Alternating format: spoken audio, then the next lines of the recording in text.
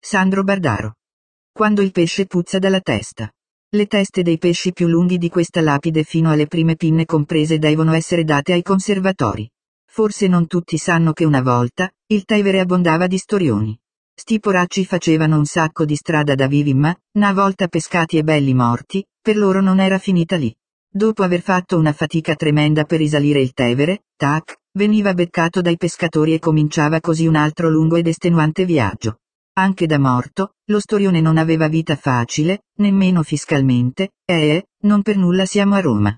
A partire dal Trecento, i conservatori, cioè i magistrati comunali, diventarono anche i responsabili del pesce venduto in città. E va bene.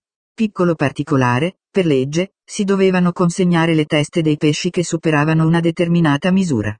La misura, guarda caso, era proprio quella di uno storione un po' grande e per essere precisi, sul finire del Cinquecento in Campidoglio e dal mercato di Portico d'Ottavia, dal medioevo mercato del pesce di Roma, comparvero delle targhe con il bassorilievo di uno storione, che doveva servire come misura di riferimento. Quindi, lo storione si faceva un mazzo tanto per risalire il Tevere, veniva beccato dai pescatori che poi lo portavano al mercato ma, prima di consegnarlo al pescivendolo che poi lo dava alle comari, lo doveva dividere secondo le regole. Le teste degli storioni più grandi di un metro ai conservatori in Campidoglio e gli esemplari più belli andavano in dono ad un cardinale o ad un nobile oppure ad un personaggio importante a cui si doveva un favore, o si sperava di averlo. Oggi, non girano gli storioni, ma la storia funziona ancora così.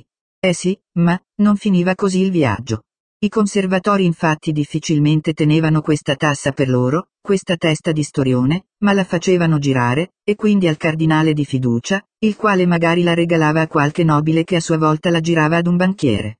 La mentalità è mentalità, non acqua.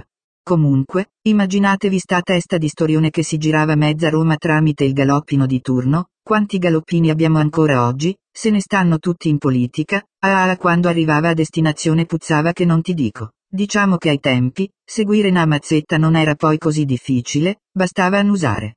L'ultimo a cui finiva sta a testa, maleodorante ed inutilizzabile per essere cucinata, ne poteva venire un brodo da concorso, non si sentiva offeso ma anzi era orgoglioso di essere tenuto in considerazione, con tale gesto. Significava essere inseriti nel giro. È proprio il caso di dirlo, per saperci fare, bisogna usare la testa.